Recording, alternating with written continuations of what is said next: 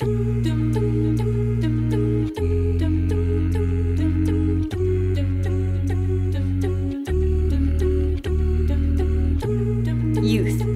Youth is not a word that describes how old or how young you are. It describes a feeling, a feeling of freedom and a feeling of happiness.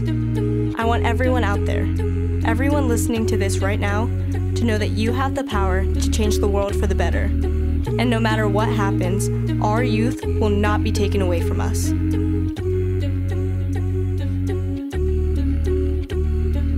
Here I am stuck on this couch, scrolling through my notes. My heart was broken, I'm still not growing. Nah, waking up to headlines filled with devastation again. My heart was broken, but I keep going.